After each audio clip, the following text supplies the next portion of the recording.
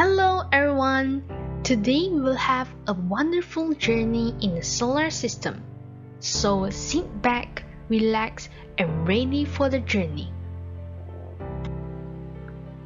In the solar system, there are eight planets orbiting around the Sun. Our first destination is the planet closest to the Sun, which is the Mercury.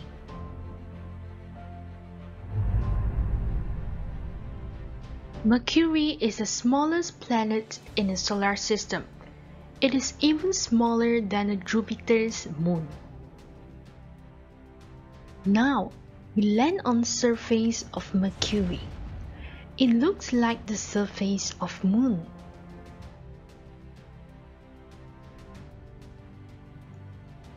When we take a walk on the surface of Mercury, we found that there are many asteroid craters on the surface.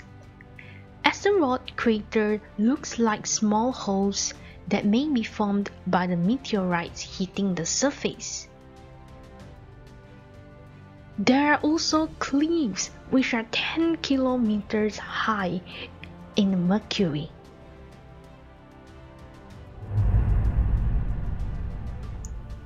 However, because the absence of atmosphere in Mercury, so light cannot be scattered. As a result, the sky in the Mercury looks dark in space.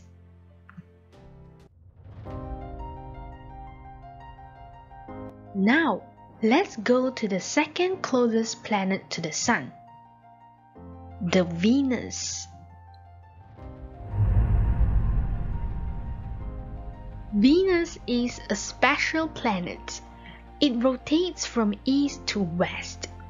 This is very different from Earth and other planets, which rotate from west to east. This means the sun rises from west in Venus.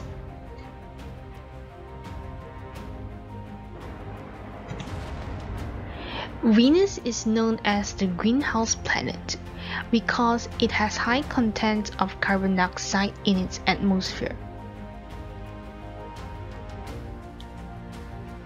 The size and age of Venus is the same as the Earth, but its climate is far more challenging.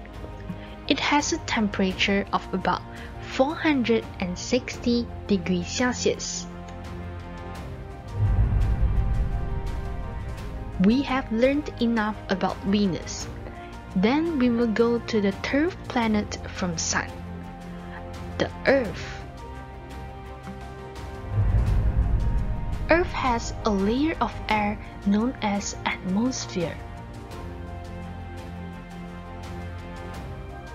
The atmosphere helps to protect Earth from solar wind or ultraviolet rays in the space. Earth is the only planet in universe that is inhabited by living things. More than 71% of the Earth is covered in water, while the other 29% is land.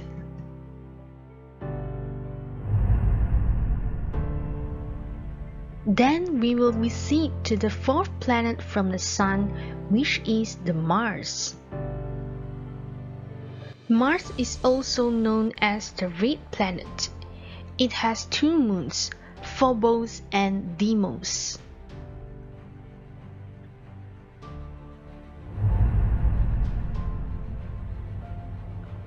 If we see from Earth, the atmosphere of Mars can be divided into two different areas, the brighter area and the poles. The brighter area is covered in dust and reddish sand.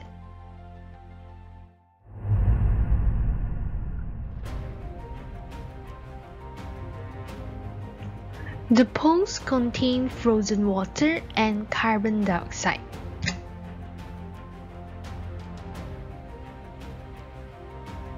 Our next destination is the fifth planet from the Sun, the Jupiter. Jupiter is the largest planet in the solar system. Jupiter is almost 320 times that of the Earth and is twice the amount of all the planets in the solar system.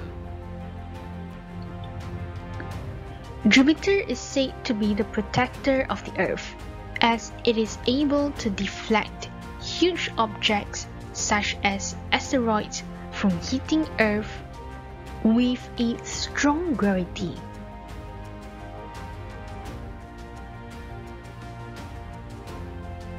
Then we will travel to the sixth planet from the Sun, the Saturn.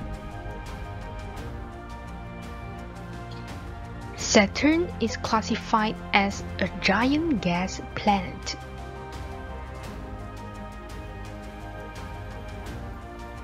It has a ring system which contains mostly of ice and with a small amount of rocky material and dust.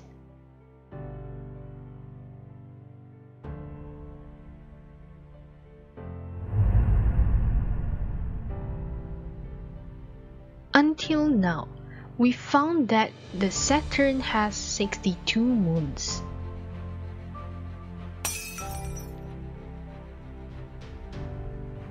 It's time to go to the seventh planet from the Sun. The Uranus. The elements in the interior of Uranus are ice and rock. Uranus is a special planet because its axis of rotation is tilted. Let's compare with the Earth. Axis of rotation of Earth is 23.5 degree, while the axis of rotation of Uranus is 98 degree. So the axis of rotation of Uranus is much more tilted.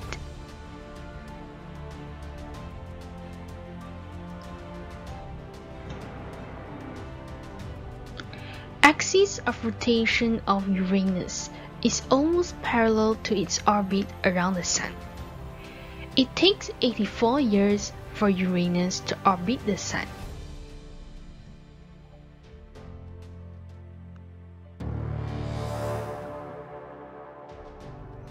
Uranus has a ring system similar to Saturn, but the ring system is thinner and darker.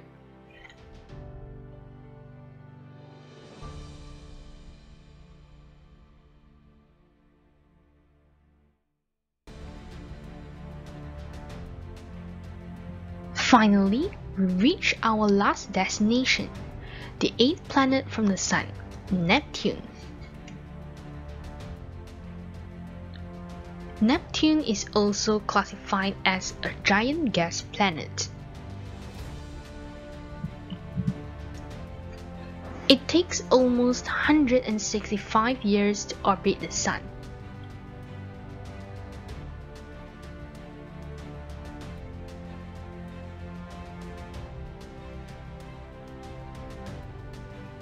We have finished our journey in the solar system. Hope you enjoy the journey and have a good day. Bye bye.